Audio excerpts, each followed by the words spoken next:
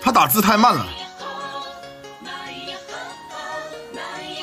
现实，现实肯定要去的呀！谁约我打现场，我一定要去打的，对不对？因为我觉得约我打现场的人是非常有勇气的，他已经对于输赢，他已经不重要了。想当年，去年吧，也就去年的时候，我那个时候说什么打现场，好多人刷华子要约我打现场，后来我都一想，哎，排队要排个好几天。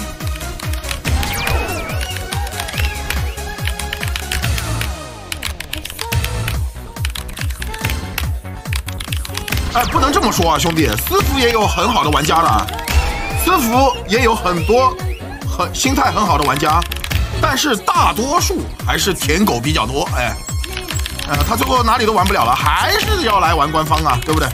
官服还是永远是爸爸，哎，这个是永远改变不了的唯一的事实。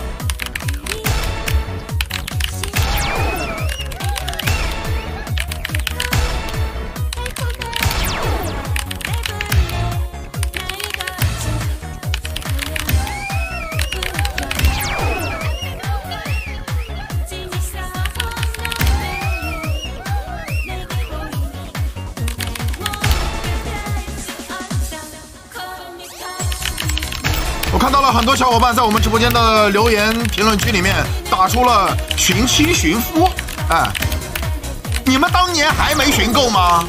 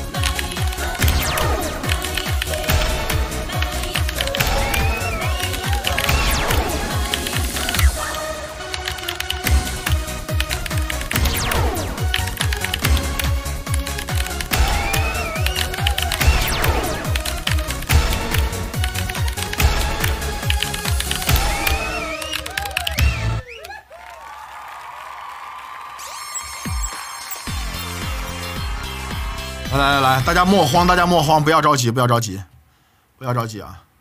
先给大家发一个抖币，然后左上角，左上角，那个左上角有一个两千抖币的福袋，希望大家都可以参与一下。喜欢主播的点点关注啊！找到回忆的小伙伴呢，点点赞，点点关注啊！没有续粉丝团灯牌的小伙伴呢，把灯灯牌续一下就好了。感谢你们，感谢你们，感谢大家。